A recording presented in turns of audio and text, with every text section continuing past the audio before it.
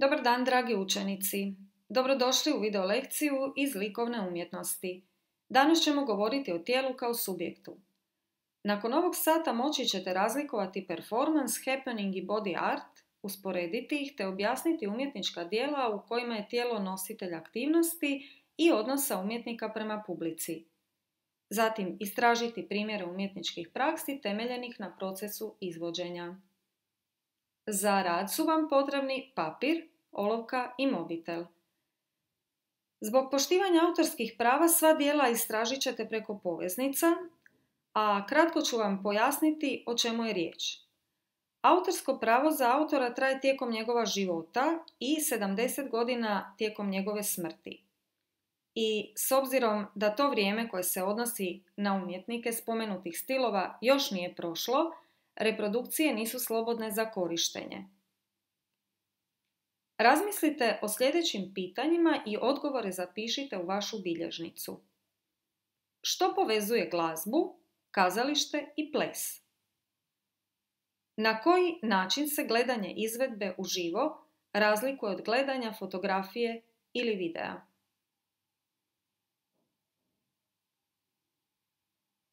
Upravo performans ima elemente kazališta, plesa, pantomime, glazbe ili cirkusa i sadrži scenske elemente,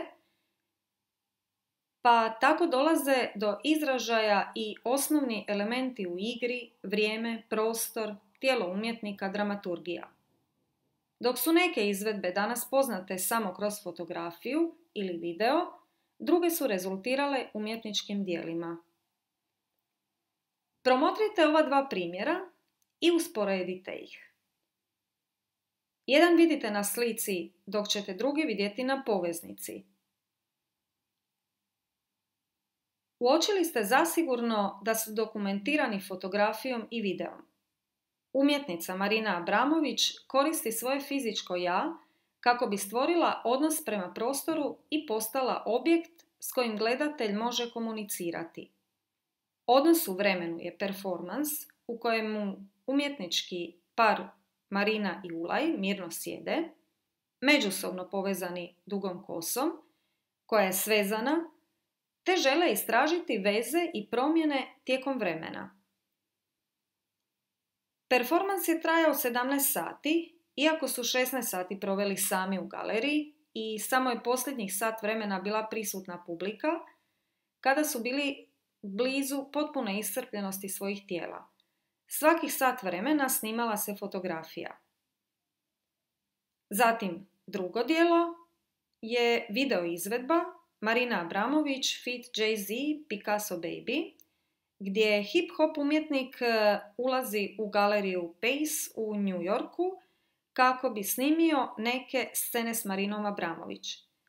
Tijelo je subjekt koji postaje nositelj radnje, a umjetnici performeri reagiraju na ono što ih okružuje u svakodnevnom životu. Sudjelovanje publike je važno kao dio umjetničkog izričaja. Marina Abramović kroz performanse koristi tijelo kao subjekt u komunikaciji s publikom i potiče ih na reakciju. Kroz vaša zapažanja zašli smo u svijet performansa.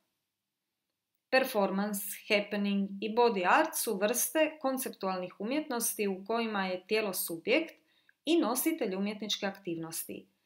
Prema tome čovjek postaje materijalom, umjetnost koja može uključivati bilo koju vrstu medija. Umjetnici performansa uglavnom se bave istraživanjem tijela kako bi se usredotočili na vlastito tijelo kao glavno sredstvo komunikacije. Izvodi ga jedna osoba i ne uključuje interakciju s publikom, postoji granica između dijela i promatrača te čin izvođenja ovisi samo o izvođaču, bilo da je unaprijed izrežiran ili spontan. Performans se shvaća kao način izravnog bavljenja društvenom stvarnošću, usmjeren je prema promjeni svijeta i suočavanju s duhovnom krizom suvremenog doba. Marina Abramović je jedna od najvećih umjetnica performansa i jedina iz generacije radikalnih izvođača 70-ih koja se još uvijek bavi umjetnošću performansa. Tijekom svoje karijere ona je neprestalno pomicala granice izvedbe, iskušavajući različite oblike i žanrove, poput body arta, relacijske izvedbe, dugotrajne izvedbe, autobiografske izvedbe, participativne izvedbe, reperformansa. E, u stvari, njezin nastup beskompromisno testira granice fizičke i mentalne izdržljivosti tijela, e, socijalne stereotipe i tabue, kulturne i rodne identitete, e, vršeći snažan afektivni učinak na publiku. Oni predstavljaju složene značinske strukture koje počivaju na preplitanju konkretnog i simboličkog, materijalnog i duhovnog, zatim fizičkog i mentalnog, intimnog i javnog, ponavljanja i promjene, stvarnog i virtualnog. Dalje, pogledajte dijelo Alana Kaprova, 18 Happenings in Six Parts i pokušajte pronaći poveznicu s prethodnim primjerima. Zapišite bilješke i ponovo se vratite video lekciji. Ovdje je riječ o happeningu koji je naziv dobio po prvoj izvedbi 18 Happenings in Six Parts koju je 1959. izveo Alan Kaprov u New Yorku. I ovdje se javnost pozivala da izvrši e, brojne zadatke koristeći se uputama iznesenim u partituri. Happening je scensko, likovno ili glazbeno dijelo kod kojeg se očekuje od promatrača da sudjeluje u onome što čine izvođači, temeljen je na improvizaciji, iznenađenju te šokiranju publike, ali i na njezinu sudjelovanju. Pa se stoga ukidaju granice između umjetnika i promatrača. Tijelo ima svoje načine izražavanja, svoje interakciju s publikom i interakciju s dopunskim medijima kao što su zvuk i video. Odvijao se na mjestima na kojima su ljudi obavljali svoje svakodnevne aktivnosti, poput recimo parkova, ulica ili možda podzemne željeznice. Iako su se objekti i lokaliteti ponekad pažljivo birali, izvođačima je bilo ostavljeno da izraze svoje konceptualizacije na načine koji su im e, predloženi prije ili čak u trenutku izvedbe. Publika se pretvorila u aktivnog sudionika dok je nekada pasivno promatrala umjetničko dijelo. Pogledajte dijelo i razmislite. Što ga čini subjektom? Opišite sredstva i objasnite postupke kojima je izvedeno djelo. Denis Oppenheim je koristio njegovo tijelo i kao platno i za bilježenje svojih nastupa, a fizičke opekline i ožiljci trajali su mnogo dulje od samih predstava. Ovdje u jednom od svojih najpoznatijih dijela Položaj čitanja za drugi stupanj opeklina iz 1970. Oppenheim dokumentira učinke predstave na plaži Long Island prije i poslije. Ležeći pet sati na suncu s knjigom na prsima. Oppenheimova izvedba referira se na protok vremena dok odgovarajuće fotografije pokazuju presudnu ulogu koju je fotografija imala u vječnom obilježavanju i objavljivanju ovih prolaznih događaja. Pa sam umjetnik kaže, ne mijenja se samo ton kože, već i moje osjetilo. Osjećam kako postajem crven.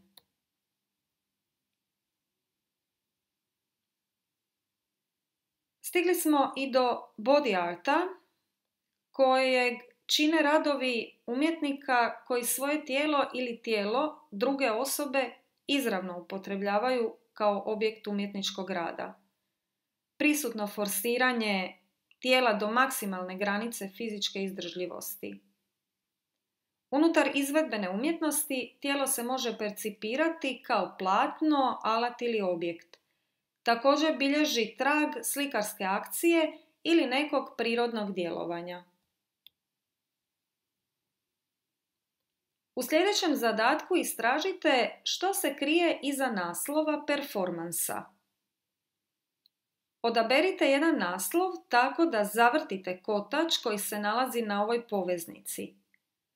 Otkrite i autora, pronađite snimku ili fotografiju performansa, zabilježite što o određenom performansu kaže sam autor, te izrazite vlastito tumačenje performansa. Zatim, rezultate vašeg istraživanja prezentirajte u odabranom mediju i pošaljite vašem nastavniku na uvid.